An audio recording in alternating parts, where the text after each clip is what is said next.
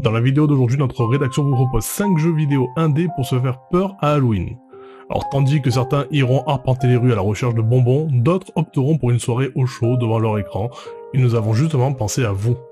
L'occasion est parfaite pour mettre à l'honneur des jeux vidéo indés qui sont parfois méconnus. On va commencer avec Emily Wants to Play. Développé par Sean Hitchcock, Emily Wants to Play est un jeu d'horreur dans lequel vous incarnez un livreur de pizza. Probablement sur l'une de ses dernières courses, il est 23h, le malheureux rentre dans une demeure étrangement vide pour poser sa livraison. Pas de chance, le malheureux va se retrouver enfermé en compagnie d'une bande de joyeuses poupées qui vont vous faire passer une nuit d'enfer.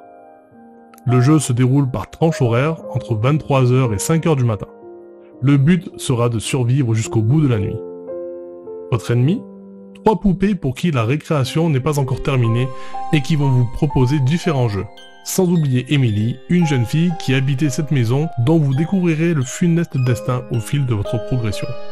Petit budget mais grandes idées, le jeu n'aura de cesse de vous terrifier au fil des heures. Même si de prime abord vous rencontrerez les différents antagonistes petit à petit, vous allez prendre cher sur les dernières heures. En effet, ils n'hésiteront pas à s'unir pour vous empêcher de partir. De plus, le jeu utilise la génération procédurale et n'hésite pas à refermer les portes et à éteindre les lumières. De quoi vous filer les jetons au moindre faux pas.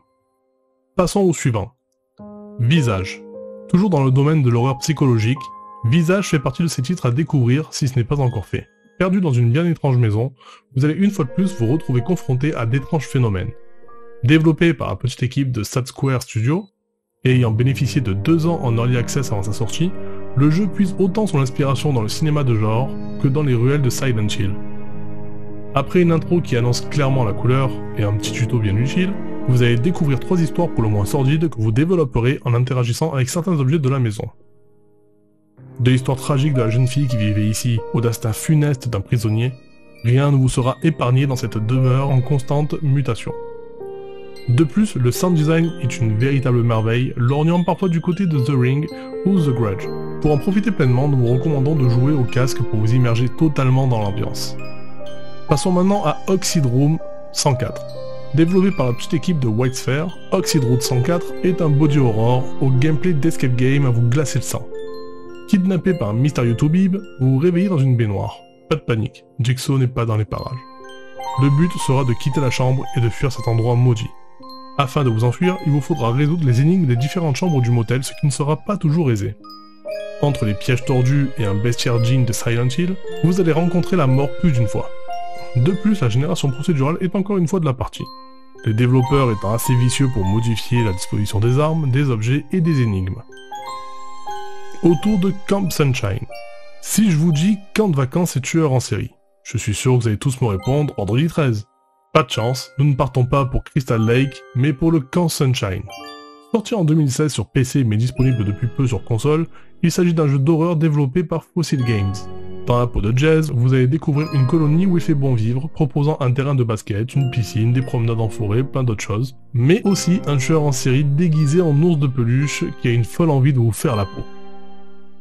Séduisant avec son ambiance 16 bits, le jeu brille par son concept original vous demandant de résoudre diverses énigmes afin de pouvoir quitter la colonie.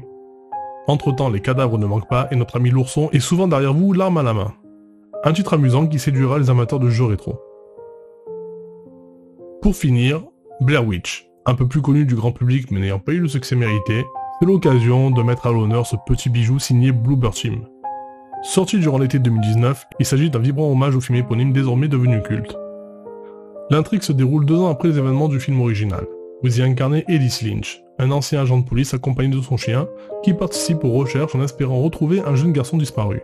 Sous ses faux airs de Walking Simulator, Blair Witch retranscrit avec brio l'univers du film, vous faisant progresser avec un simple caméscope à la main. Vous devrez bien entendu retrouver différents objets afin de progresser dans votre quête, mais aussi vous méfier des créatures tapies dans l'ombre et qui ne seront visibles qu'ayant la caméra à portée de main. L'ambiance est terrifiante, la peur ne vous quitte pas d'une semelle, et je peux vous assurer que le jeu vaut la peine d'être découvert si vous êtes passé à côté lors de sa sortie.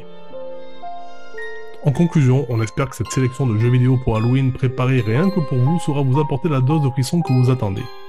Au vu du nombre de jeux qui sortent chaque mois, il nous arrive de passer à côté de certains titres qui méritent pourtant d'être découverts. Je ne vous recommanderai jamais assez de laisser la chance aux développeurs indépendants qui, même s'ils n'ont pas les moyens des grands studios, développent leur jeu avec beaucoup d'amour afin de partager leur passion du jeu vidéo. Je vous dis à la prochaine et surtout, ne vous retournez pas. Si ce contenu vous a plu, vous avez un moyen simple et gratuit de nous soutenir et de nous encourager. Vous pouvez liker, vous abonner et surtout commenter. Vos retours sont importants et c'est bon pour le référencement. The Geeks est un petit média indépendant et pour vous proposer plus de contenu et plus qualitatif, nous avons besoin de votre soutien. Et pour celles et ceux qui le peuvent, vous pouvez également nous faire des dons sur Patreon. Merci d'avoir suivi cette vidéo jusqu'au bout et je vous dis à bientôt